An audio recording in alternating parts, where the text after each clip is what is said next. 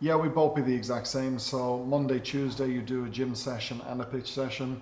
Uh, we'd be off on a Wednesday. On Thursday, you have the option of a gym session with another pitch session. Then Friday, you'd have a very light, maybe 20 minute uh, readiness to train pitch session too. So as you can see, the front part of the week is, is quite heavily loaded.